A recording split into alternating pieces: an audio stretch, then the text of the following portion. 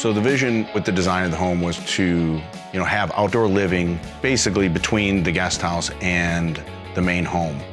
So having Phantom Screens participate and bring in their motorized screens gave us an ability to have an outdoor kitchen with a seating area that keep the bugs away and you have nice clean air.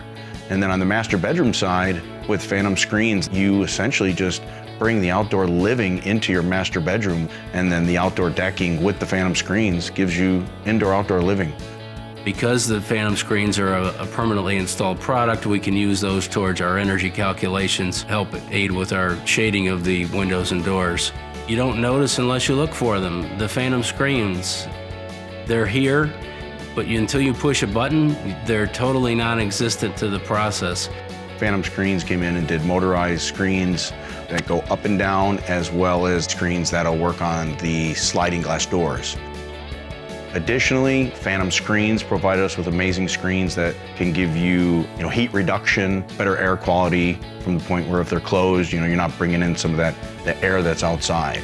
All of it together, you know, really builds a great home.